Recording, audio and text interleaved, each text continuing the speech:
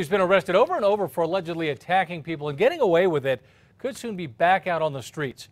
Last summer, Teron Johnson attacked a postal worker in the Heights. It happened when the worker was delivering mail to a massage business.